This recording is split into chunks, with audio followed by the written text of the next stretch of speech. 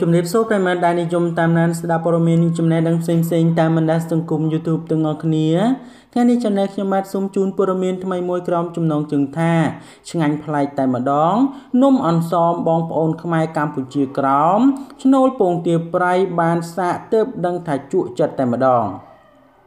បាទប្រិយមិត្តរបស់យើងលោកប្រកាសជាបានជ្រាបហើយថារដូវនេះគឺជារដូវភ្ជុំបិណ្ឌហើយថ្ងៃនេះដែរគឺចូលដល់បិណ្ឌទី7ហើយនៅក្នុងនោះផងដែរបងប្អូនប្រជាពលរដ្ឋខ្មែរលោកតែងតែធ្វើដំណើរទៅវត្តវា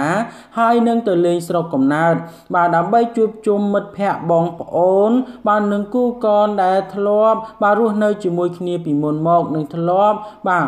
មានទំនាក់ទំនងចិត្តស្និទ្ធជាមួយនឹងគ្នា ពេលដែលទៅណាឆ្ងាយក៏ដោយឲ្យតែពេលខែបុណ្យភ្ជុំបិណ្ឌតែងតែមកជួបគ្នាជាញឹកញយជាពិសេសនៅក្នុងក្រុមគ្រួសារនីមួយៗដែលមានកូនរស់នៅឆ្ងាយឆ្ងាយបាទនៅក្នុងនោះផងដែរបាទរដូវវិចអន្សមក៏ជិតមកដល់ដែរបាទដូច្នេះកុំឲ្យប្រិយមិត្តរបស់យើងរងចាំយូរសូមមេត្តាជួយ Subscribe និង Like ខ្មែរកម្ពុជាក្រោមជាពិ ជាការពិតណាស់ឲ្យតែដល់រដូវភ្ជុំបិណ្ឌម្ដងម្ដង ប្រជាពលរដ្ឋខ្មែរតាមទីស្រុកស្រែចំការ នៅទៅនាំគ្នា បាទធ្វើបន់បាទធ្វើទានប្រគេនចង្ហាន់ព្រះសង្ឃទៅវត្តអារាមនានាឲ្យតែចិត្តដល់ភ្ជុំធំគេនឹងបាទនាំគ្នាវិចអន្សមនៅតាមផ្ទះគ្រប់គ្រប់គ្នាមិនថាតែបាទផ្ទះណាផ្ទះណាឡើយហើយមិនដែលអាខានឡើយជាជាក់ស្ដែងនំអន្សមខ្មែរយើងមានច្រើនប្រភេទណា នៅតាមតំបន់ខុសៗគ្នាបន្តិច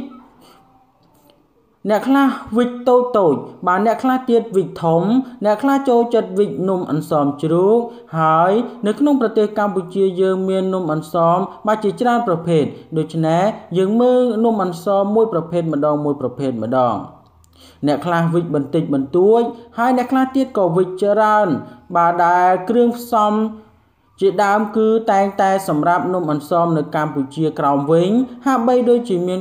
ការខុសប្លែកពីនំអន្សមខ្មែរកណ្ដាលដាច់តែម្ដងពលគឺរូបរាងរសជាតិនិងគ្រឿងផ្សំឯរសជាតិពិតជាឆ្ងាញ់ប្លែកបាទស្ទើរនឹកស្មានមិនដល់នំអន្សមកម្ពុជាក្រោមត្រូវបានគេដឹងថា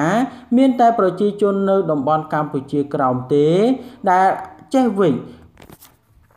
ពេលនេះស្ថិតនៅហើយកម្ពុជាក្រោមដែលពេលនេះគឺស្ថិតនៅក្នុងបាទប្រទេសវៀតណាមជាអ្នកគ្រប់គ្រងតែប៉ុណ្ណោះបាទដែលចេះអ្នកដែលចេះវិចនំអន្សមប្រភេទនេះគឺជាមនុស្សដែលរស់នៅក្នុងកម្ពុជាក្រោមចំពោះរូបរាងគឺធំខ្លាំងដោយក្នុងមួយនំមួយនំមានទម្ងន់ជាង1គីឡូក្រាមឯណោះចំណែកឯសាច់ខាងក្នុងវិញ បាទអង្ករដំណើបត្រូវលាយជាមួយនឹងស្លឹកងប់ឲ្យចេញជាពណ៌បៃតង ដោយមិនលាយជាមួយនឹងកាកដូងឬបាក់ខ្ទិះដូងដូចនំអន្សមខ្មែរកណ្ដាលឡើយ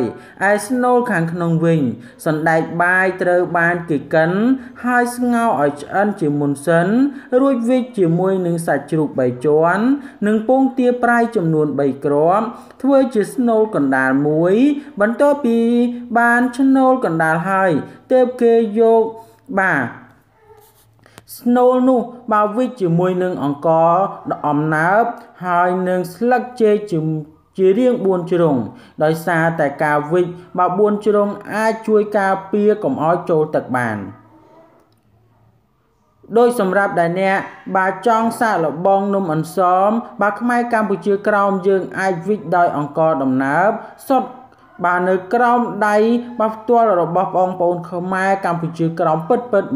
100%លោកអ្នកអាចបាទទំនាក់ទំនងជាមួយនឹងលេខទូរស័ព្ទបាទគឺ081បាទ989និង909នំអន្សមជ្រូកមួយទម្ងន់1គីឡូ2ខាំបាទតម្លៃរហូតទៅដល់25000នំអន្សមបាទចេកមួយទម្ងន់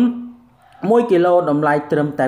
20000បារៀលប៉ុណ្ណោះបាទនេះគឺជាប្រភេទនំអន្សមដែលវិចដោយបងប្អូនខ្មែរកម្ពុជាក្រោមហើយមានការវិចខុសពីយើងដាច់ស្រឡះតែម្ដងបាទដូច្នេះព័ត៌មាននេះមានប៉ុណ្ណឹងដើម្បីទទួលបាននូវព័ត៌មានថ្មីៗបន្ថែមទៀតសូម Subscribe និង Like ចំណែកខ្ញុំបាទសូមអរគុណនិងសូមគោរពលា